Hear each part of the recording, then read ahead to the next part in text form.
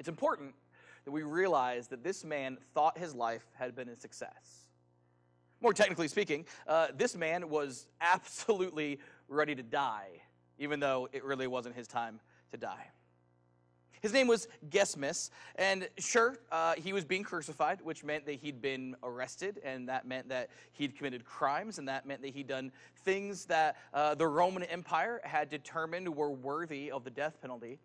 But in Gesmas's mind, he had lived righteously. He had lived a life that was holy. He had lived a life that was sacred. That's because he was committed to a cause. Like all Jewish people, he believed that God was going to usher in a new glorious age. A glorious age in which Israel was at the center, and which all of the Jewish people were redeemed and restored, and they followed this king uh, that they would call the Messiah. So, Jewish people, they believe this, uh, all of them essentially, and they believe that their life and their actions, what they do, what they don't do, can really help usher in this age. Well, for Gesmas, he was part of this group of Jews that believed that they were going to do that through violence. They believed that God ordained their violence, that God wanted them to live a life that was violent. More specifically, that God wanted them to live a life that was violent towards God's enemies. Really violent towards those people who, those people who had um, hurt God's people. So Gesmas, he believed, living in the world that he lived in, that God wanted him to kill Romans. God wanted him to take out the tyrannical empire that had, uh, at this point in history, for mm, 70, 75 years or so, had been, bad math, 90, 95 years or so, uh, had really hurt the people of Israel. The problem is this if you believe that God wants you to overthrow the Roman government, that's a tall order. That's a, that's a hard thing to ask. The Roman Empire did not become the Roman Empire because they were bad at fighting. They did not become the Roman Empire because they did not have an army that was powerful. The, Rome was, I mean, they were big and they were powerful. And so Gesmas and a whole group of other people, we uh, generally might call them zealots, Gesmas and the other zealots, they believed that the best way to get rid of Romans, the best way to kill Romans, were through what I, I don't know what else to call other than acts of terror, acts of uh, assassination and, and robbing. And uh, really, they, they sort of operated in the darkness, they operated in the shadows. They were the sort of people who didn't think it was out of line to stab someone in the back or slit somebody's throat. These people uh, were the type of people that really made every Roman, not just Roman soldiers, but Roman uh, men and women and maybe even children, uh, sort of lose sleep at night because these Jewish, violent, uh, terrorist, insurrectionist, these guys, they were just, they were sort of awful from a Roman perspective. And really kind of from the perspective of just, you know, don't kill people, don't murder people, they were kind of terrible. But it's important we realize that Gesmas, as he was crucified, as he was nailed to the cross, that he believed that his life had been righteous. He believed that his life had been exactly what God wanted. He believed he was ushering in a new era, a new age. He believed that God was very happy with him. He had fought the good fight, so to speak. But before he was crucified, a really strange thing happened. You see, Gesmas was part of a, a small band. Uh, there was Barabbas, and there was Dismas, and there was Gesmas. This small uh, band of three terrorists, three zealots, three insurrectionists. And they had actually attacked and murdered, uh, robbed, and, and done what they had done in Jerusalem. And of course, that's sort of the big leagues. That's, that's going after the big fish, right? And so they got caught. And so, as they awaited their own day of execution, a thing happened that none of them expected, that no one understood, that, you know, as until they died, I'm not sure that they really uh, understood the significance of this. There was this group of religious leaders of Israel that disagreed with the way the Zealots did things, disagreed with how this new era, this new time was going to show up. Uh, these religious leaders uh, didn't really like the Zealots, but they had somebody else they wanted to die. His name was Jesus uh, from Nazareth. This Jesus of Nazareth fella was a rabbi, was a teacher, um, and he was so opposite of everything that Gesmas was. So opposite. Jesus had taught peace and con- compassion and love. Uh, he'd even taught you supposed to love your enemy, which was absurd to a guy like Gesmas. He never picked up a sword. People called him the Messiah because, well, the way that he taught, and supposedly he was doing these miracles, but he never wanted power. In fact, Jesus resisted power. Jesus didn't want people to believe that he was some sort of king on a throne and all of that. And so these religious leaders who said that he was guilty of blasphemy had brought Jesus to Pontius Pilate, the governor uh, at the time. And they said, We want to swap. We want a, a, prisoner swap, essentially. We want Jesus to be executed, we want him to be killed, and we want Barabbas, the leader of, of this small band of people who were caught in Jerusalem. We want Jesus crucified, and we want Barabbas freed. And I'm not sure they understood exactly what was happening or why or what was going on, but that's what happened. And so, as uh, was on the cross, dying a death that he was proud of, believing he had lived a holy life, believing he was dying for a purpose, as he hung on that cross, he hung there next to his friend and, and, and fellow terrorist zealot, uh, Dismas. And this Jesus guy that he had absolutely no respect for, absolutely no love for, a man he disagreed with on a very fundamental level. And now that I've said all of that, that reminds me of something that we should talk about. That there was this one time where God gave me a panic attack. More technically speaking, what I thought about God gave me a panic attack. And, and I should say, I, I don't want to get too personal here in this conversation, but I'm a person who understands the difference between like a, a medical, clinical panic attack and just, you know, feeling a little anxious, uh, feeling a little nervous. You know, this was, this was not just a little anxious and a little nervous. That's, that's not what this was. This was a full on panic attack, the kind of panic attack where you know you wake up in the middle of the night and you're just sweaty, just all over and uncontrollably, and, and your heart is racing and it kind of hurts, like your chest hurts. You feel like you're kind of having a pan, like a heart attack.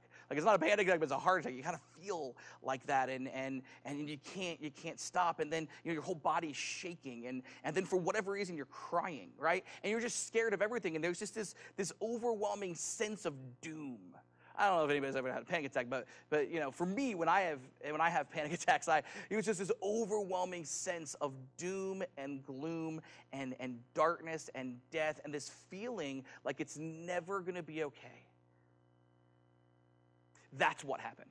and it happened because of God. It happened because of what I believed about God. I was 12 years old, and, and I'd really been, you know, I'd been raised in a Christian home, and I'd thought about my decision about Christianity and what I thought of Christianity and what I thought about God and Jesus for, you know, a long time. And, uh, you know, I, you know, even going back to when I was like, you know, five, six years old, I remember it being a really important thing to me, and uh, some stuff had happened in my life, and, I, and at 12 years old, I just decided, look, I'm ready. You know, I'm going to be baptized. I'm going to be baptized into Christ.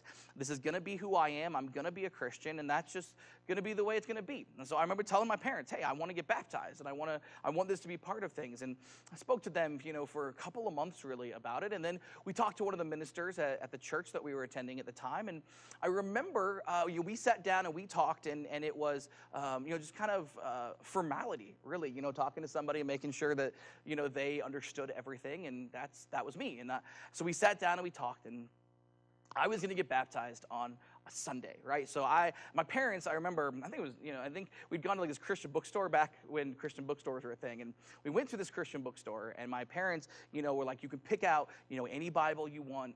Um, just we, want, you know, we want this to be a special thing for you to have, and and you know, you can you can keep it, and it can be something that you know you can read, and it can be yours, and it, it reminds you of this.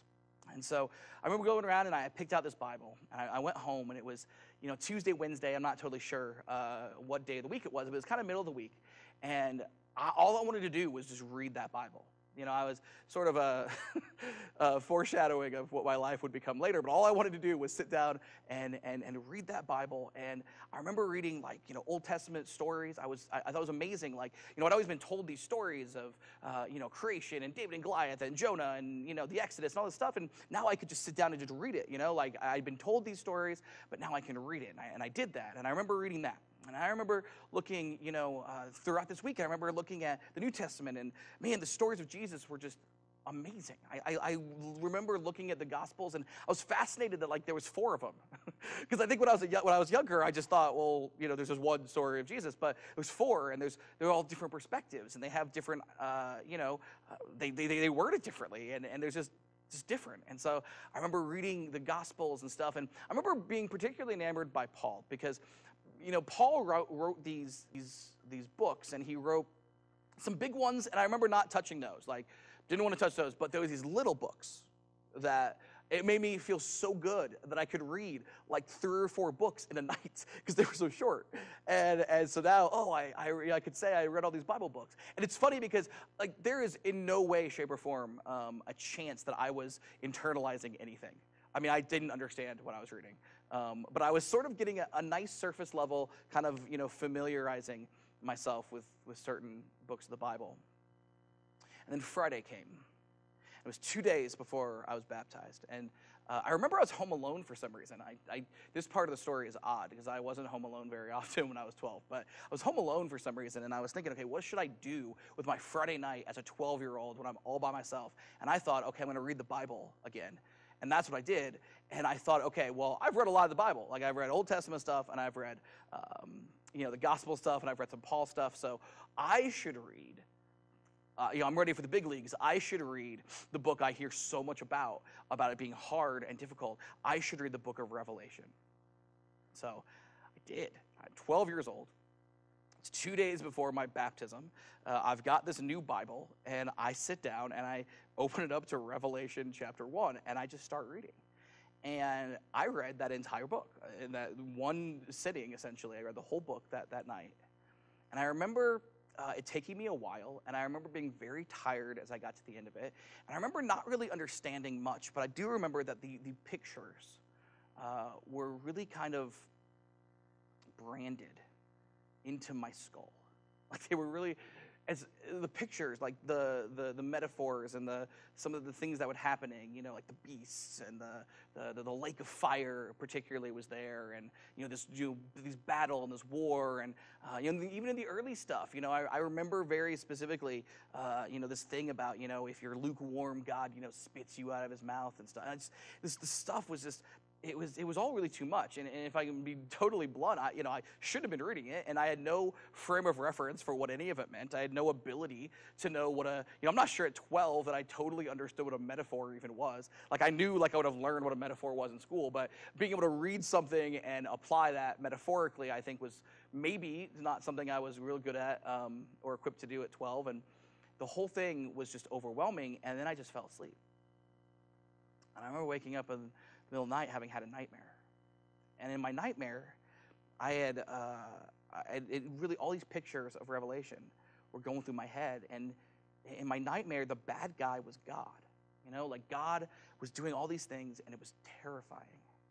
And I woke up in a cold sweat, and my, my, my, uh, my heart was, was pounding and racing, and I couldn't get control. I was shaking and started crying. And just this doom and this gloom, this, this horrible panic attack. And the whole time, this horrible panic attack, I was thinking about Revelation, what I'd read.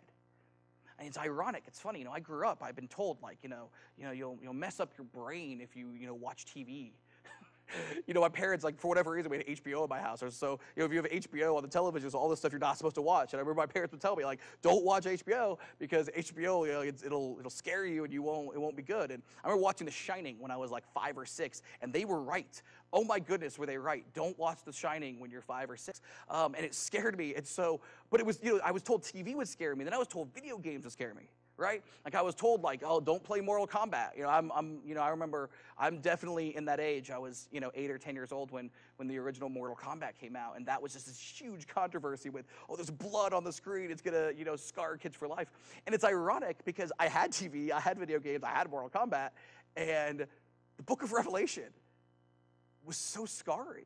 Like I read it all at once, and I remember, you know, the, the, that, that next day, you know, if you have a panic attack, or if I have a panic attack, you know, the next day is always a little weird, and so the whole next day was a little weird, and and then, you know, I went to bed, and I woke up, you know, and I went and got baptized, and it's like I, I entered the waters of baptism, I entered the beginning of my faith, um, and I don't, obviously not consciously, but subconsciously for sure, I entered my faith with this fear, this fear of God.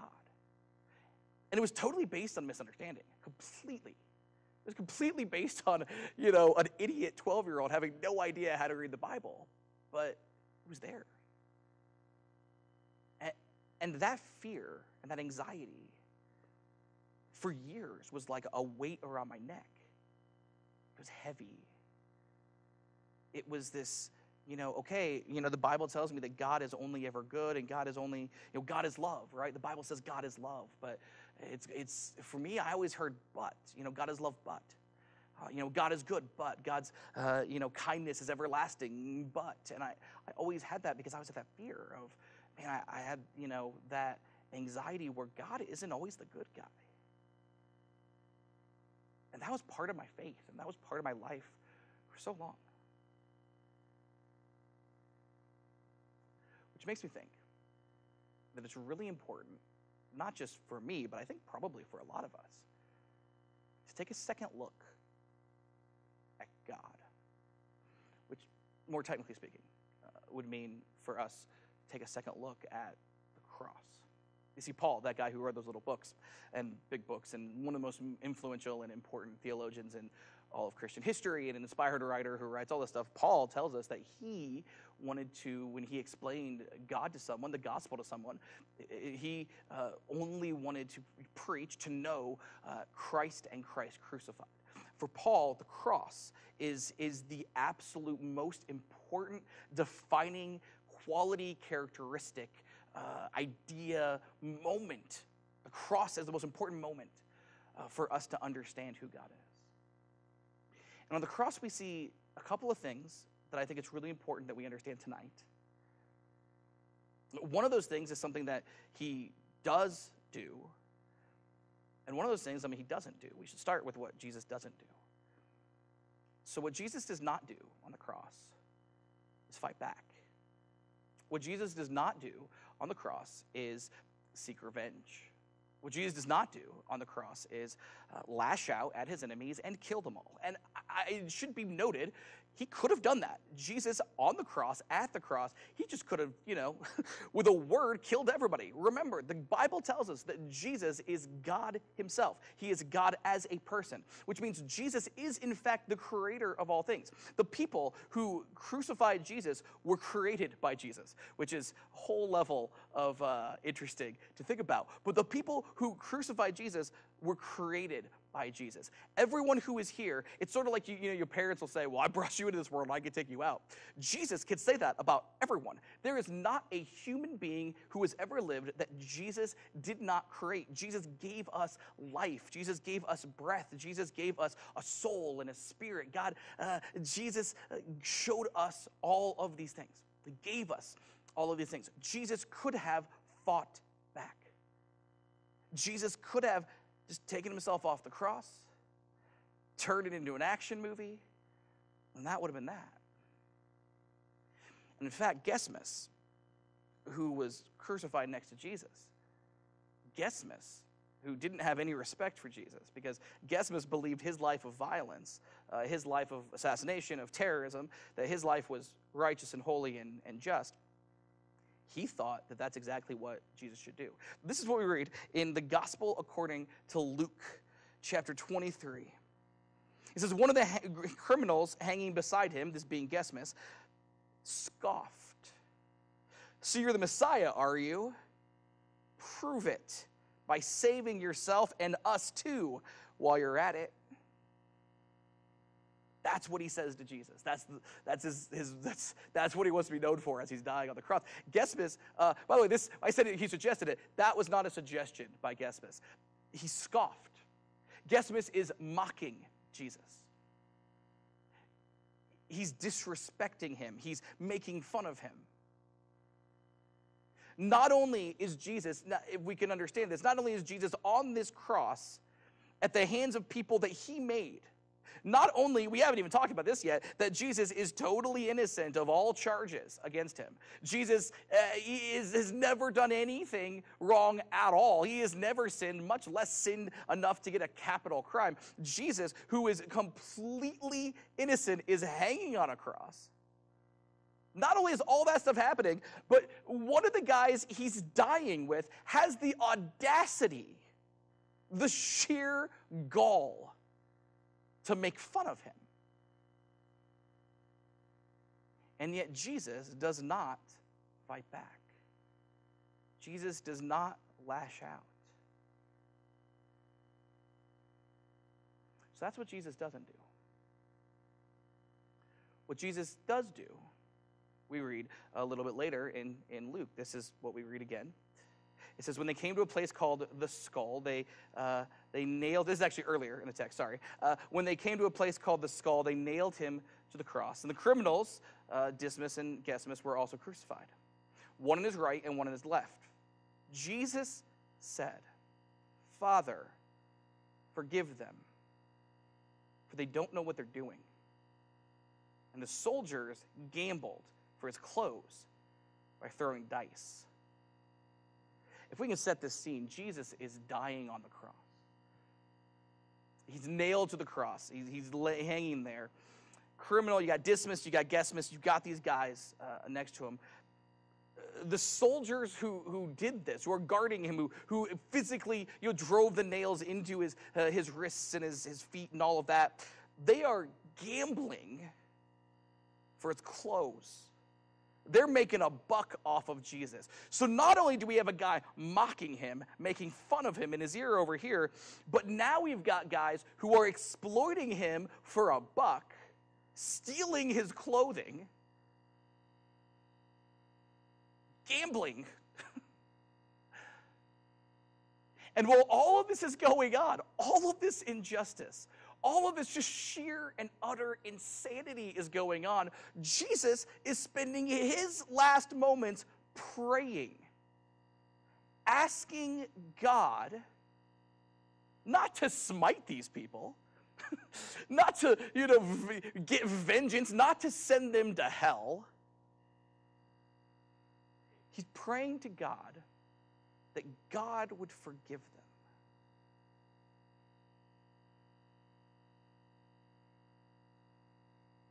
And I think we just need to let that sink in for a second. You see, if I understand who God is, most clearly through the cross, and I understand that on the cross, God, I mean, defiantly refuses to get back at anyone. Def- I mean, God is, I mean, God is stubbornly refusing not to punish these people.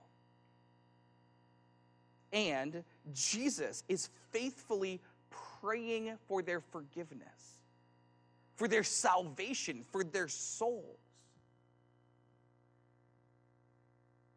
If I understand that that is the cross, and that the cross is what we see God in, then there's no need for a panic attack. Because when push comes to shove, when God was pushed to the brink, when Christ was pushed to his limits, he showed nothing but goodness, kindness, grace, compassion, mercy, forgiveness, love. That's who God is. All the bad actors here all the people who think they're right, all the people who think God wants them to do terrible things.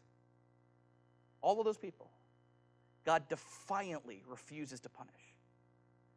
And Jesus is praying for their salvation.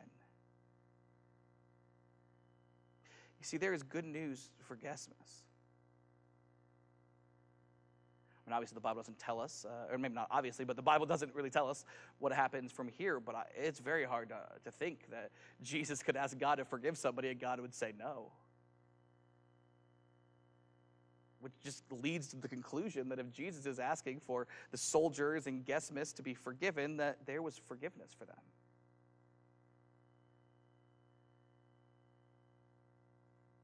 And that's so hard to understand to see that defiant love.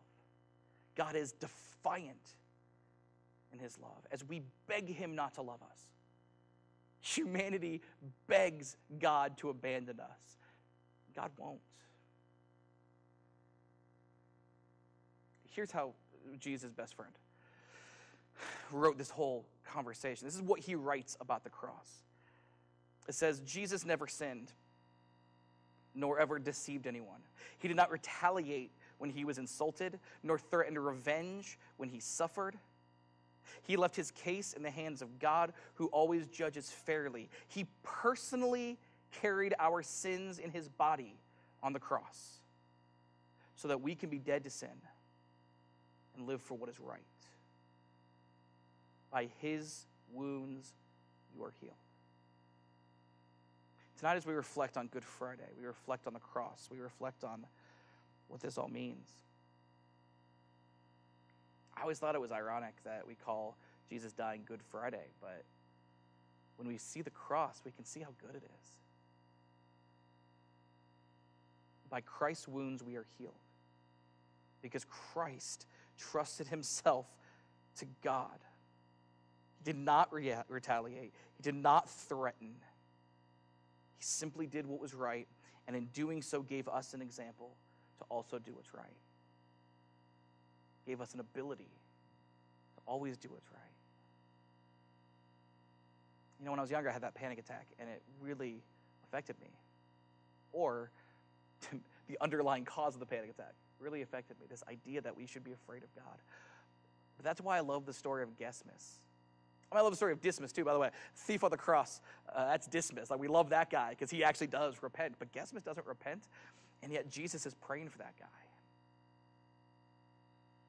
You know, if there is hope, you know, if there's hope for uh, a guy mocking Jesus on the cross in the form of Jesus praying for his forgiveness, then, you know, there's hope for all of us. I don't think I'm alone in, in you know, this idea of looking at God as if God is the bad guy, if God is the one we should be afraid of. I don't think I'm alone in that. And if that is us, it is my prayer tonight that we can have peace. The peace that comes from knowing that God is in fact love, that God is in fact good, that Friday is in fact good, because God is in fact that by his wounds we find healing emotionally and spiritually. We find healing not through our own efforts, but in the goodness of Christ. Gesmas thought that he was right. I thought I was right. Humanity, we constantly think that we are right. And at the cross, we learn that when we are wrong, there is nothing but compassion and love waiting for us from our Creator and our God. It's my prayer tonight that we can have that peace. And as we reflect tonight on this, we go into a weekend in which Easter uh, is there on Sunday, that we can reflect on this goodness, that even when we are wrong, even when we are afraid, even when we have anxiety, the God who made us and loves us is always there. He is defiantly, stubbornly good. We'll see you guys on Sunday.